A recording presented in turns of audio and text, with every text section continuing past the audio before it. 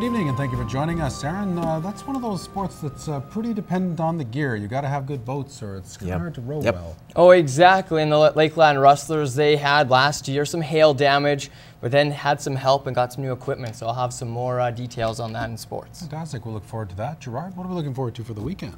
Well, the weekend is looking pretty good, all right. We've got some cloud cover coming in right now. It's been building since about 2 o'clock. Let's see what we're dealing with right about now. The sun has actually been trying to force on back out. We got to 28 at about 2 o'clock, and then we dropped off a couple, sitting at 26, 31%, and it's that humidity. It's been inching up steadily since the last couple of hours, and the winds basically out of the south south today at the moment, coming at 21 kilometers an hour, UV reading of 3. So as we compare across the region, a bit more cloud cover to the north of us in the Cold Lake area for that 22, and in the Battlefords, smiling and enjoying all of the blue skies and the sunshine for that 29. More to come in our second segment. A fire on the north side of Lloydminster this morning damaged a home and killed a family pet. Fire crews doused flames at the house on 54th Street across from the Husky Ballpark. The blaze was spotted by a neighbor who called the fire department. Nobody was home at the time and no, no people were injured. However, the family's dog was killed in the fire, which started in the back room of the house. Its cause is thought to be electrical in nature. Damages to the home are estimated at seventy to eighty thousand dollars. The results of a new local hospital survey are out, and users say the level of health care isn't what they'd hoped for. The province of Saskatchewan has set a standard level of satisfaction that is supposed to be met by every region every year. But in 2010, the Prairie North Health Region didn't quite make the minimum requirements. Whitney Stinson breaks down the numbers and finds out what officials are going to do about it.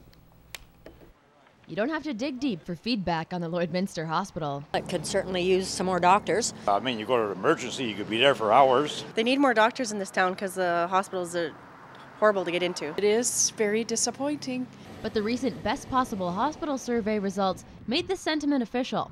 Only 22.4% of PNHR patients gave their hospital a perfect score.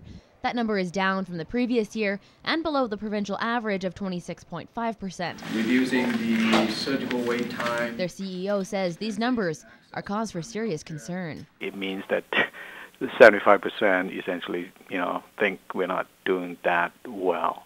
The survey was given to patients at all five hospitals in the region, but a breakdown of satisfaction rates per hospital will not be released. Fan suspects, though, Lloydminster is the one in the most need. Access to basic uh, healthcare services, family physician services, is a big concern when you have to wait four hours, six hours, eight hours in the ER of the hospital, it is a huge concern. Now, for the past six months, PNHR has been working to remedy that problem by focusing on the recruitment and retention initiative. So far, they have three specialists on their way here and three new family physicians setting up shop for January at the very latest. In the meantime, uh, we continue to recruit uh, more family physicians and hopefully uh, we will have more success in that area. Fan says another key factor for patient satisfaction will come from a change of attitude in the staff. I think we need to remind ourselves uh, that we're in the business of looking after people and we're in the public service arena, so uh, we always need to, to do better. Whitney Stinson, Newcap News. When the books closed on the deal to move the weapons range tax revenue to Cold Lake, the city received the help it desperately needed. But as Clayton Brown explains, the realignment affected multiple municipalities surrounding the range. The county of Lac La Biche will no longer be receiving the $17 million in tax revenue generated from the weapons range. So, in compensation, the county has received a land assessment north of the range, but council still has concerns.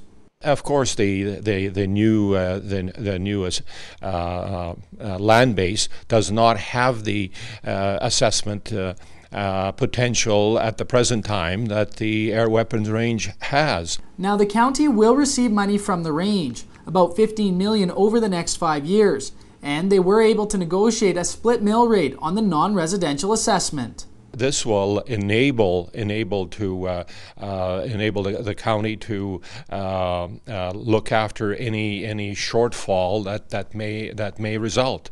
The MD of Bonnyville will receive compensation that tops out at a million dollars per year to maintain two roads onto the range. That leaves the town of Bonnyville as the only municipality south of the bombing range to be entirely left out of the deal. Well, I think the general feeling in the town is that uh, we've been shafted.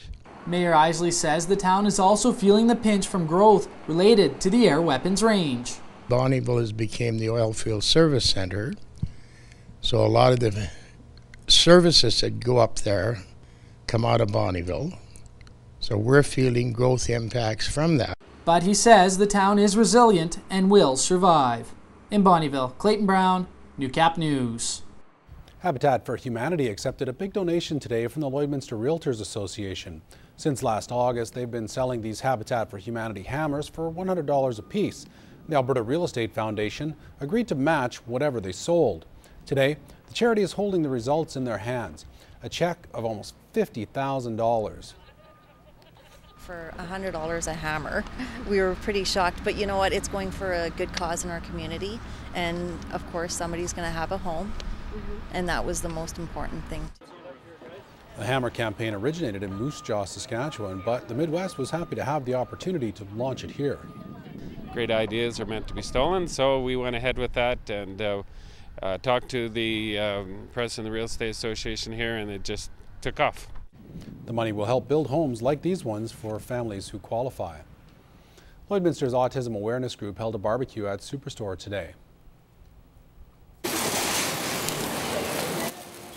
The lunchtime grill was held in advance of October being Autism Awareness Month. What we're trying to do is, is raise awareness and, and uh, for uh, the growing, most growing disability in, in uh, North America, if not the world.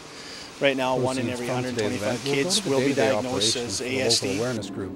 The grassroots organization hopes to one day run a resource center in the city, and in the meantime will continue with its mandate to help create awareness and understanding in the community.